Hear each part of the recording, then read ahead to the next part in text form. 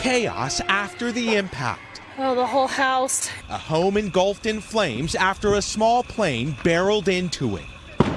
Investigators realized this was no accident. The pilot, Dwayne Youd, was arrested for domestic assault hours before the crash and then released. He then flew the plane into his own home while his wife and a young child were inside. We have one male deceased, but it could have been so much worse. The early morning crash outside Salt Lake City captured on surveillance video. We're on scene.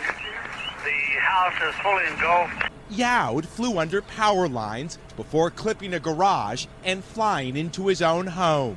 Our house just shook really loud. Tonight, a troubling case of alleged domestic assault and a miracle two victims were able to walk away from this fiery crash. Miguel Almaguer, NBC News. Hey, NBC News fans, thanks for checking out our YouTube channel. Subscribe by clicking on that button down here and click on any of the videos over here to watch the latest interviews, show highlights, and digital exclusives. Thanks for watching.